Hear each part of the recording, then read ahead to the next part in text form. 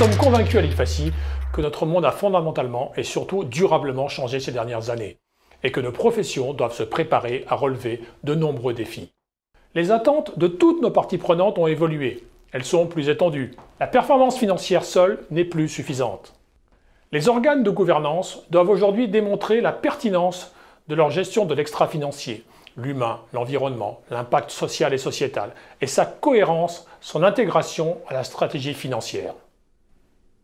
Dans un monde où l'information est plus hétérogène, volumineuse et accessible par tous, les parties prenantes, internes et externes, ont besoin de garants, de professionnels qui leur donnent confiance dans les données et la représentation de l'organisation qu'elles véhiculent. C'est là que nous serons attendus.